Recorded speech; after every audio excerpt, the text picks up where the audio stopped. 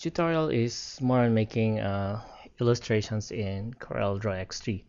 Uh, CorelDRAW has a pop uh, has a has a powerful uh, I would say powerful media artistic media wherein when you make lines you can change this to a particular brush stroke.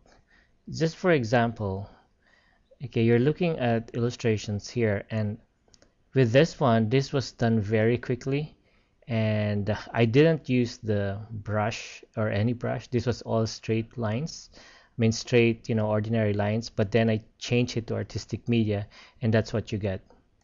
And uh, you can also make a font to be artistic like this one without going to you know without changing the brush strokes and everything. So to just give you a clear clear idea of the tool if I draw a straight line I go to my Bezier tool and I go to okay this tool here Bezier tool. I make a straight line like that okay.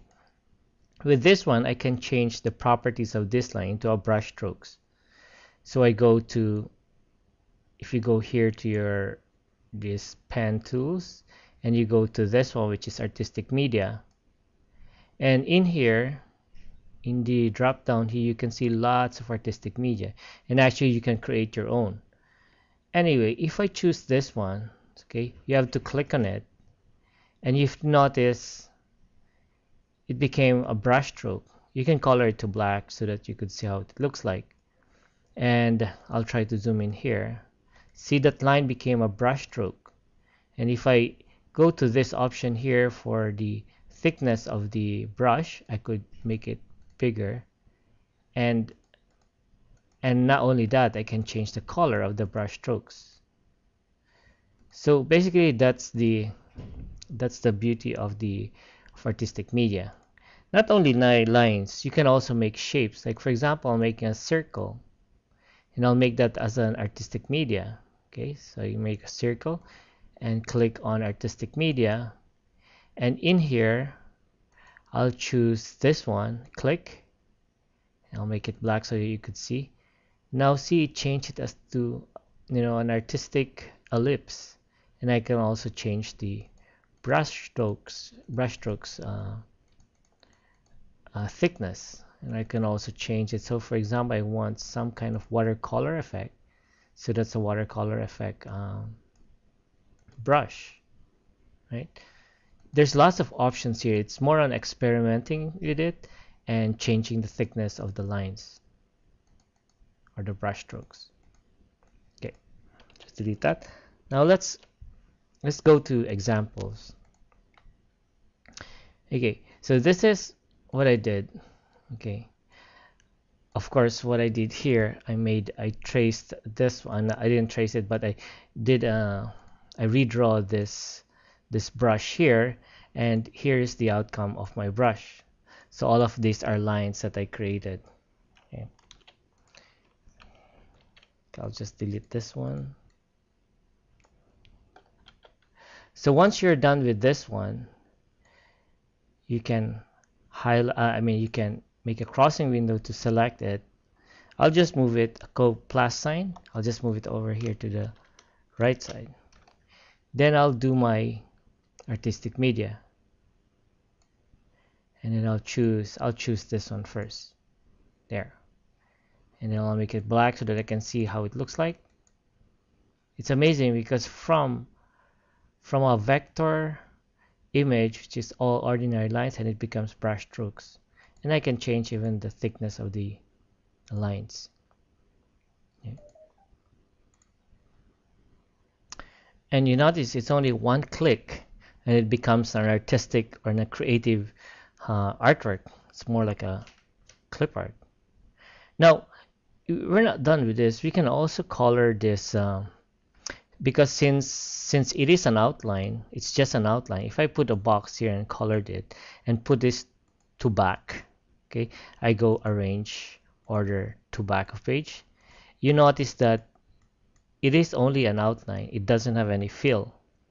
So with that option, you can always go to your you go to your polyline tool and then you can create a fill behind it.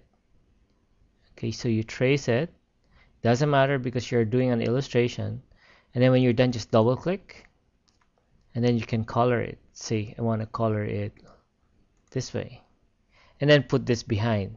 So go to arrange order to back of page then you can always edit those lines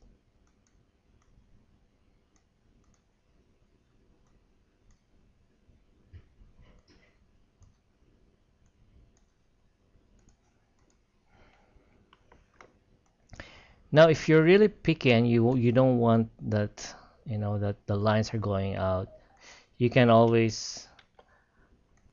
So what you can do is you can, okay, you zoom in, and then instead of using this polyline, you can use the Bezier tool, and what you do is just click, click, click, click, click, click, click, click. Because like I said we're doing an artistic illustration here so the the lines really doesn't matter. And then you close it.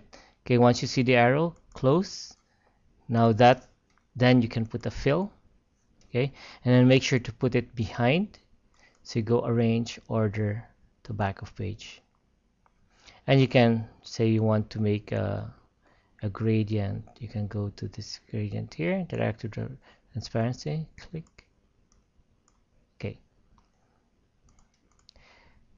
Okay. Now you can do this part here. You go to Bezier Bezier tool and click click click click click click and then close. Okay. Then let's choose a different color.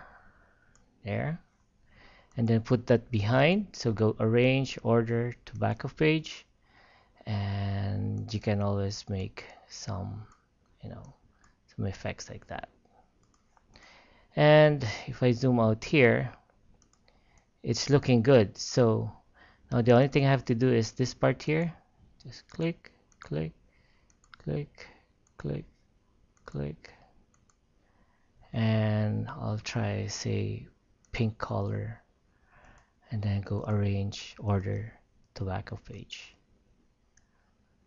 And I can make interactive transparency tool or this way doesn't matter. Now if you notice that's a powerful tool because you can make illustrations out of just simple lines like this that's the same thing that what I've done here in the pencil or or actually in the just gonna zoom out here See this pencil is the same thing.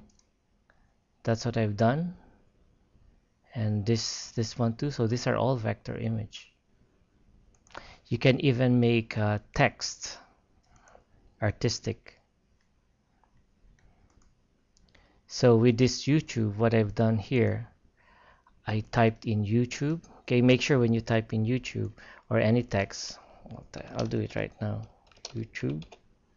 Okay, then I'll select my font say impact make it bigger now you have to remember that uh, you have to make a white fill and then put an outline a very thin outline okay? And then this is important too. You have to make it curves. So you go to arrange and click on curves. Then you can make the artistic uh, artistic media. Artistic media and you choose which brush. So you want to choose this and I want to make it different color so I could see how it looks like there. Now if you do if you if you know it it doesn't suit the the brush strokes you can always change it.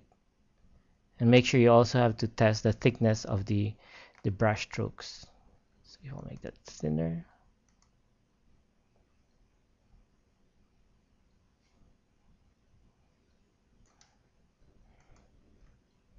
Just this one. Okay.